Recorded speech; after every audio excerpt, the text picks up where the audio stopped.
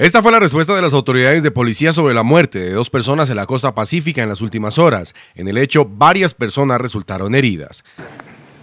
Francisco Pizarro, eh, hay una situación especial que se está llevando allí de orden público, donde han resultado unas personas lesionadas por arma de fuego. Hay dos homicidios que se están presentando o que se presentaron. Eh, ya el día de hoy hay un Consejo de Seguridad allá en Tumaco donde se van a tomar las determinaciones, qué es lo que está sucediendo allí. ¿Son pescadores de la zona?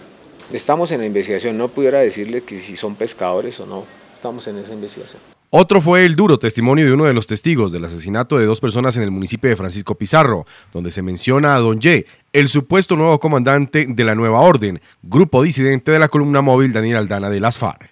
Nosotros nos invitaron y somos mediadores entre la FARC y gente de orden, encabezada por Don Ye.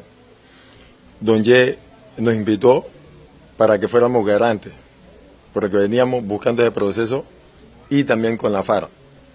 Ellos se negaron a hacer todo este tipo de situaciones. Don Ye estaba dispuesto a entregar las armas, que era beneficio para el municipio, él estaba dispuesto a todo. Llegamos allá a San Sebastián, hablamos con ellos, de ahí nos desplazamos a San Pedro del Vino y una vez llegando a San Pedro del Vino nos encontramos con la sorpresa de que habían unos 22 guerrilleros fuertemente armados, tenían fusil, pistola y M60. Según la versión del testigo, Don Ye pretendía entregar las armas y permitir la desmovilización del grupo disidente.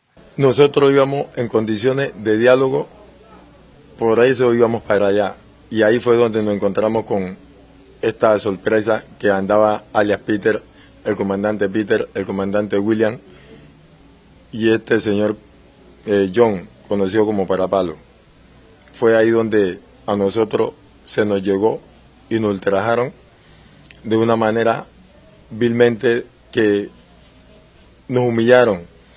Fueron donde hubo un diálogo que Don Ye les dijo que él iba a entregar las armas y no aceptaron, sino que comenzaron a disparar. Otro de los testigos presenciales dijo que lo presentado en San Pedro del Vino tuvo una orden explícita, solicitó mayor voluntad de las partes para la firma de la paz. Como beneficiado de, líder comunitario, no deseo nunca más estar en esto, porque crea lo que soy muy batible, me sentí muy humillado frente a la FARC y no creo que puedo seguir en esta situación colaborando al proceso de paz. Las autoridades en Consejo de Seguridad analizan los hechos y aportan datos sobre las investigaciones sobre la muerte de estas personas, que al parecer estarían vinculadas con grupos armados ilegales en Tumaco y la costa pacífica nariñense.